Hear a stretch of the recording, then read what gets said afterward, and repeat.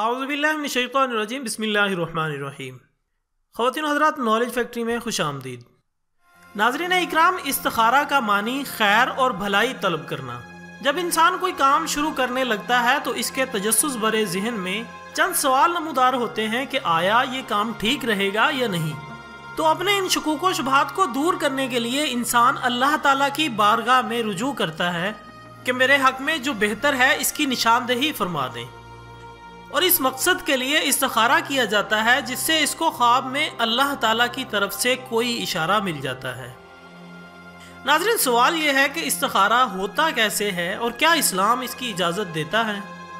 اس topic پر مزید بات کرتے ہیں، لیکن اس سے پہلے میں نئے آنے والے تمام ساتھیوں سے گزارش کرتا ہوں کہ چینل کو سبسکرائب کر کے بیل آئیکن کو دبا دیں، یوں آپ کو ہماری ہر نئی ویڈیو کا نوٹیفیکیشن ملتا رہے گا۔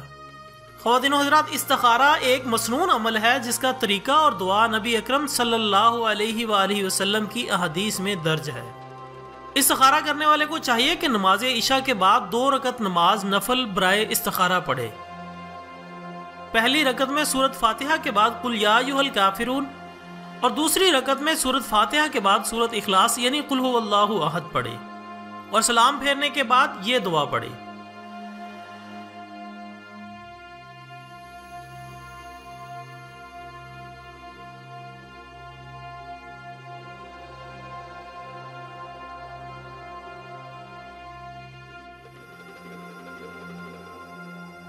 اگر ایک یا دو بار استخارہ کرنے پر کوئی اشارہ نہ ملے تو سات بار کرنا چاہیے۔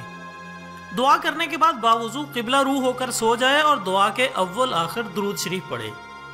اگر خواب میں سفید یا سبزی دیکھے تو سمجھے کہ یہ کام اس کے لیے بہتر ہے۔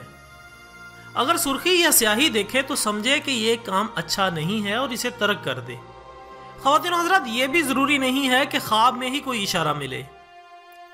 اس کی اور بھی کئی صورتیں ہیں۔ مثلا استخارہ کرنے کے بعد آپ جو کام کرنا چاہتے ہیں، اس کے بارے میں آپ کو ایک اندازہ ہو جائے گا کہ یہ کام آپ کے لیے مفید ہے یا نہیں۔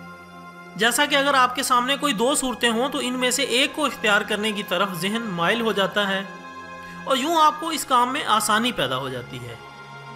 یا پھر آپ کے دل میں اللہ تعالیٰ کی طرف سے اطمینان ڈال دیا جاتا ہے اور آپ کا دل اس کام کی طرف لگ جاتا ہے۔ بالکل ایسے ہی اگر کوئی کام آپ کے لیے سود مند نہیں تو استخارہ کی وجہ سے اس کام میں آپ کی توجہ ہٹا دی جاتی ہے۔ یا پھر اللہ تعالیٰ کی طرف سے آپ کے دل میں اس کام کے لیے ایسا خیال پیدا کر دیا جاتا ہے کہ انسان اس سے رکنے پر مجبور ہو جاتا ہے۔ ناظرین کرام، استخارہ ایک ایسا عمل ہے کہ اگر انسان اس کو اپنا وطیرہ بنا لے تو اس کا فائدہ ہی فائدہ ہے، نقصان ہرگز نہیں۔ ناظرین اکرام، اس کے ساتھ ہی آج کی ویڈیو کا اختتام ہوتا ہے۔ ایک نئی ویڈیو کے ساتھ دوبارہ حاضر ہوں گے، تب تک کے لیے اجازت دیجیے گا۔ اپنا دوستوں، رشتہ داروں اور گردونوا کے تمام لوگوں کا بہت خیال رکھیے گا۔ اللہ حافظ۔